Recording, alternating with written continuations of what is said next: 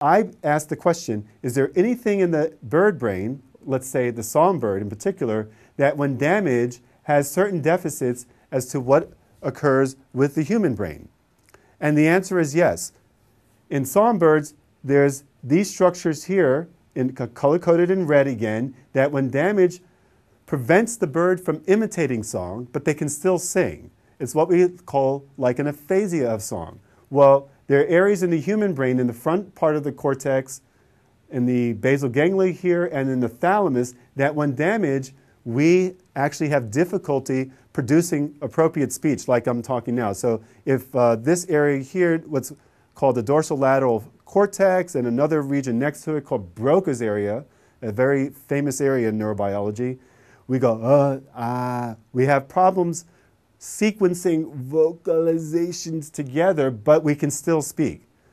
Same thing for these birds, and we have problems imitating. In birds, these regions are connected in a loop uh, that's uh, with the thalamus down here. And in non human primates, motor areas next to where you would expect to find these regions are also connected in a loop in the brain. Likewise, in birds, these areas project to a region of the motor pathway, like the RA nucleus here, that sends out the uh, signals for producing the learned vocalizations. And in non human primates, such loops for motor behavior are connected to the motor cortex. So we think we got a parallel system here in the human brain, just with a different cortical organization. So now, what I'm showing you here again is the human brain uh, color coded uh, com in comparison with the zebrafinch brain. And here is that loop that I told you about. And here is this loop here in the songbird brain, and then the output to the motor pathway. I didn't color code in yellow here. I'm now just color coding all the brain regions uh, to be either cortical or basal ganglia or thalamic structures. And what we've learned from a lot of comparative study, a lot more still needs to be uh, uh, looked at, but this is what we know so far, is that amongst birds, they have these forebrain areas that produce or imitate the sounds, and in the non-vocal learning species, like a chicken or a pigeon, we don't have any evidence of these forebrain structures. Instead, we have these brainstem regions that are involved in the production of innate vocalizations. And in the human brain, likewise, we have all these forebrain structures in the cortex and the basal ganglia.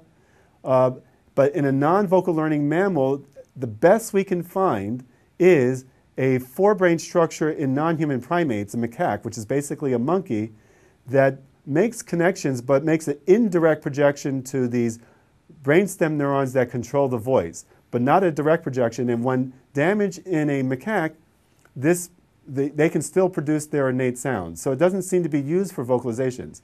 Another difference here is that in the birds and in humans, our motor cortex region makes a direct input projection to the areas that control the voice, something not found in any of the other species that produce innate sounds. So this direct projection is thought to be necessary for the uh, evolution of song or speech uh, pathways in humans. So, in summary, what we have here is a remarkable case of convergence, not only amongst vocal learning birds, but amongst birds with humans for these forebrain areas that control what I'm doing now. And the big question has been is how did this come about? Is it independent evolution now not only three times amongst birds, but over 300 million years? Or was there a common ancestor that had these brain pathways and the songbirds and uh, not the songbirds, the relatives of songbirds like chicken or relatives of humans like monkeys lost this ability, which would be quite remarkable. Or maybe everybody has some type of rudimentary pathways. An alternative, I've been told, is also um, could it be some type of designer? But uh, I didn't have any kind of answer to this, um, except more recently in the last two years, I've come up with an answer. And that's what we're going to talk about next.